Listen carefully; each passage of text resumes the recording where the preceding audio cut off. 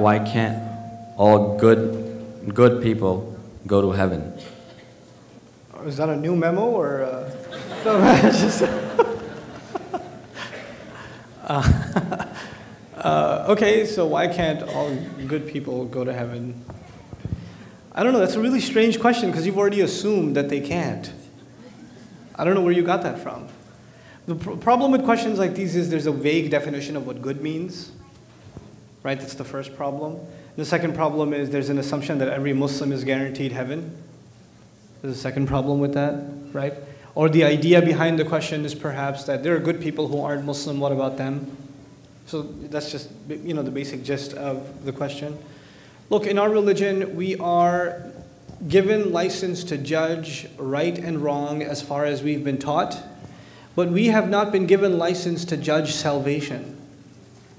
That is again his domain. He can speak however he wants to people. He can judge them however he wants. I don't get to judge what's going to happen on Judgment Day. Now, what really I think puts things in perspective for me on this question is our Prophet sallallahu alaihi wasallam was told on one occasion, "Innaka la tahdi man ahbabta." You can't guide whoever you love. You don't guide whoever you love. وَلَكِنَّ اللَّهَ يَهْدِي مَن يَشَاءُ on another occasion, Rasulullah sallallahu turns to his beloved. He loved his daughter so much. I mean, there are stories when you read about the love the Prophet had sallallahu for his daughter. It's like it's, it'll move you to tears. But then on an occasion, he turns to her and says, "Ya Fatima bint Muhammad, ittaqillah fa inni la amliku laki min Allahi shay'a." Fatima, daughter of Muhammad, be cautious of Allah all on your own because I will have no authority for you on Judgment Day. He can't even guarantee his daughter's safety on Judgment Day. So we are, you know, and Allah says in Quran, كُلُّهُمْ أَتِيهِ يَوْمَ الْقِيَامَةِ فَرْدًا Everybody will come to Allah individually. Every case will be judged individually. You know what that means? I can't even make blanket statements about Muslims. So how can I make blanket statements about everybody else? I can't do that. Fardan, individually. Allah says on Judgment Day, who are the people that are safe? Safe in illa man atallaha bi qalbin salim. Whoever came to Allah with a sound heart. Now, how do I know if someone has a sound heart or not? I don't know. What I do know is what Allah has taught me. I don't go around saying people are going to heaven either. Because people think it's you have to pick a side. Is everybody going to hell or are they going to heaven? Make up your mind. I don't get to make up my mind. That's not my question. I, get I, all we have is a message that delivers good news and delivers warning, and people will do what they will do. And then Allah will do what He has the license to do and judge what He has the license to judge. Why are you so worried about Tarzan? Why?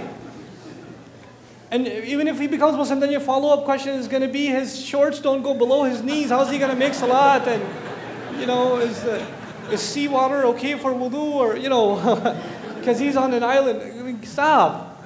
Stop.